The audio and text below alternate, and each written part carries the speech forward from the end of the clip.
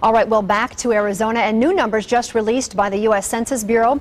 Despite several positive signs nationwide, they do show that Phoenix is still struggling to bounce back from the economic downfall.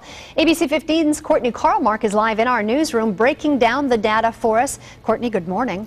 Good morning, Connie. As a nation, we are doing pretty well according to these new numbers. The economy is turning around. There are some signs with the housing market bottoming out and more people working. But here in Phoenix, it's a little bit different. According to the census, while some of us are making more money, the city's economy is a bit sluggish. We're making an average of $6,500 less per year than the rest of the country.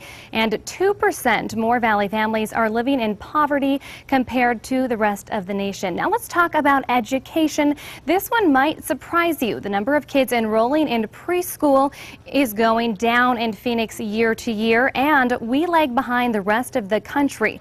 The national average for kids enrolling in preschool is 47%, but here in the Valley, get this, it's only 27 27%. Now, I do have a little side note here. The city's population grew by about 24,000 people, and those uninsured in the city grew by about 13,000. Connie? All right, lots of numbers there to absorb, but hopefully we're on the uptick in all of this. Courtney, thanks so much. We appreciate it.